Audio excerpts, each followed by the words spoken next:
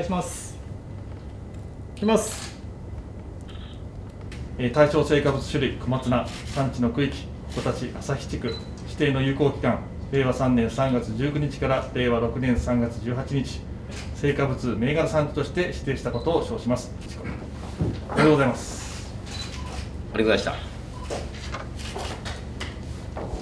おめでとうございます。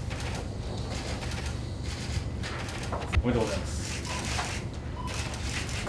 何人くらいいらっしゃるんですか？その小松菜あの部会で120名ぐらい。あ120名も在籍してて、へはい、ーでこう知られてないっていうかあー。そういうのでももっとそうです PR ねとかしてってもらったり、うん、でも話伺うとそれだけ特徴があったら、はい。ね、ううまあのブランドの形成に向けてですね大変あの心強い一歩なんじゃないかなというふうに思ってます。旭村の小松菜を、えーさらにさらに、えー評価の高い素晴らしい産地として、えーまたご尽力いただければと安心安全はもちろん本当に新鮮で美味しい作物をお高品質な作物を提供していきたいなと思っております。ちゃんと生産者の方々の視点に立って、し申請しやすいあるいは商商売のタイミングを逃さない形で素早くあの、ね、支援ができるような。